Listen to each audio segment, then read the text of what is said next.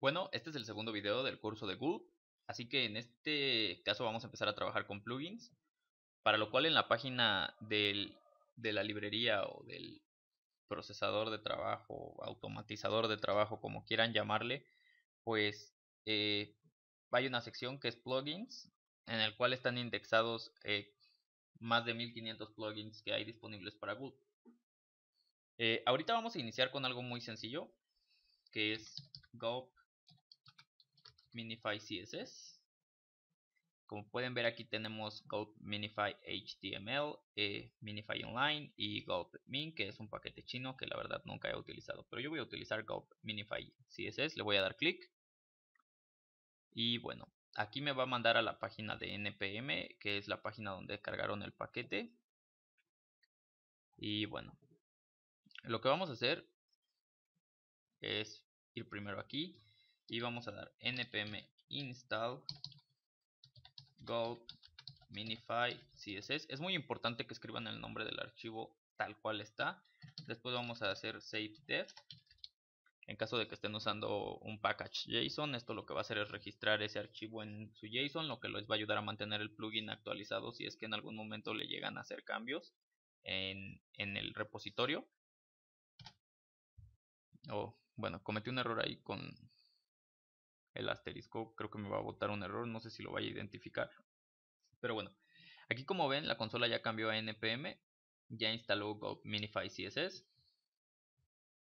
Entonces si yo vengo a mi editor de texto aquí en Node Modules, ya me aparece Go Minify CSS. Lo que voy a hacer es seguir trabajando sobre el mismo archivo de Gulp file. Esto es muy importante, solamente deben de utilizar un archivo Gulp file no deben de estar utilizando varios archivos. Y aquí lo que vamos a hacer es definir esta variable. Y de nuevo vamos a usar la función de require.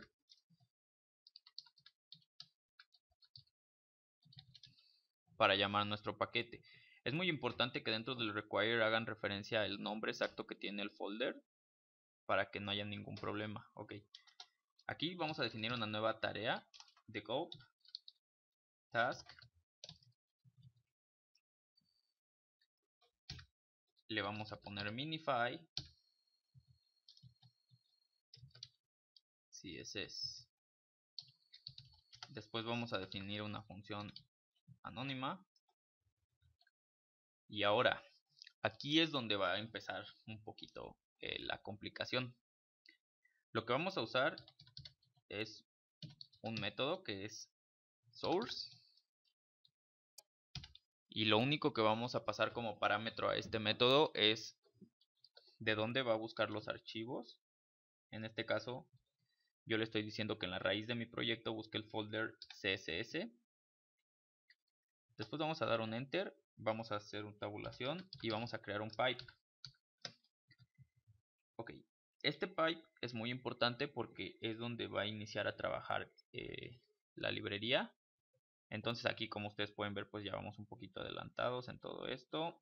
Aquí tienes que ponerle asterisco.css para indicarle que quieres que minimice todos los archivos o que haga minify sobre todos los archivos. En caso de que sea un archivo en específico, en lugar de asterisco indicas el nombre del archivo. Eh, dentro del método pipe o el primer pipe obviamente vas a instanciar la variable minify css y aquí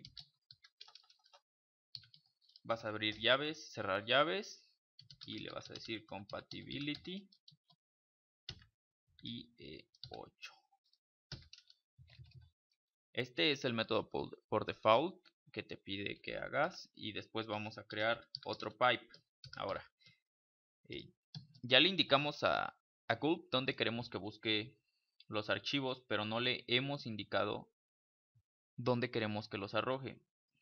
Así que para efectos de el tutorial le vamos a decir que queremos que los ponga dentro de la raíz en el folder de distriller o dist que se supone que sería el folder que ya estaríamos subiendo a producción si estuviéramos trabajando Así que lo que hay que hacer ahora es crear una nueva carpeta donde vamos a crear un archivo CSS para que Gulp pueda trabajar con él.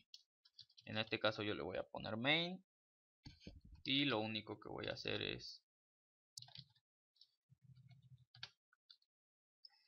decirle que a unos cuantos estilos ustedes pueden definir los que quieran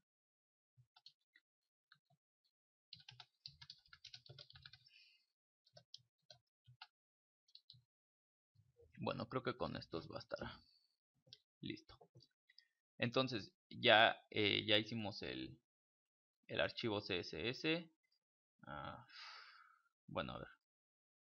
Voy a abrir uno de los archivos que tengo por acá que están un poquito más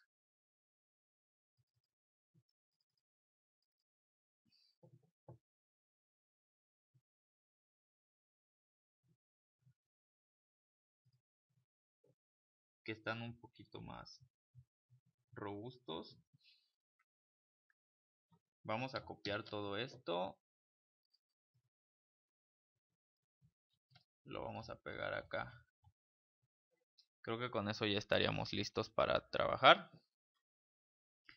Así que aquí vamos a ver que si usamos el mismo comando que utilizamos la vez anterior, que de gulp, no nos va a hacer nada. De hecho, no está haciendo nada sobre el folder o sobre el archivo CSS. Lo que necesitamos aquí es pasarle el nombre de la función que definimos, que en este caso yo solo le voy a dejar minify. Entonces lo que vas a hacer aquí es gulp minify. Y nos está diciendo que tenemos un error te está diciendo que no es una función. Ok, a ver, vamos a tratar de nuevo.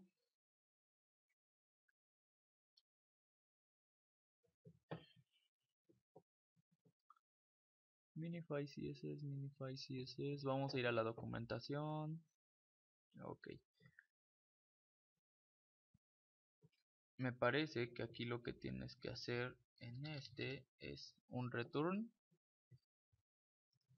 como está indicando aquí. Tal vez sea la forma que tiene de trabajar la librería. Go minify nos sigue marcando un error. Undefined is not a function.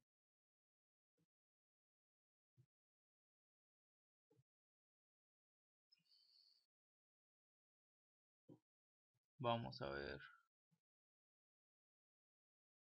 Vamos a copiar el código de aquí y lo vamos a pegar debajo. Vamos a ver qué es lo que estamos haciendo mal. Tenemos el source que está igual.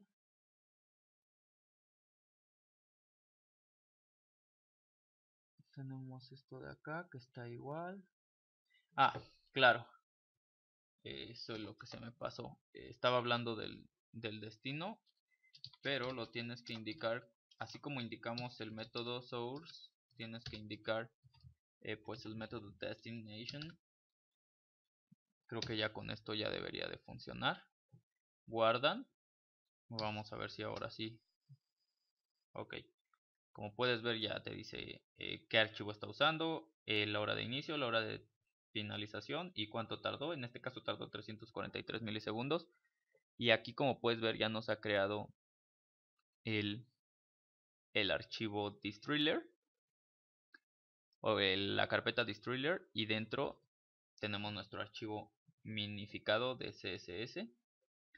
Ahora si quieren ver las diferencias pueden venir acá en CSS y ver el peso que tiene este archivo que es de 3 kilobytes y después ver el de Distriller que es de 2.44 kilobytes. Al parecer no es mucha la diferencia, pero al momento de trabajar con, con numerosas hojas de estilo y con múltiples, en serio, múltiples pues frameworks y cosas así, o hacer referencia a distintas hojas y tener que meter muchísimos imports en tus HTML, pues esto es algo que te puede ayudar a acelerar el tiempo de carga de tu página web.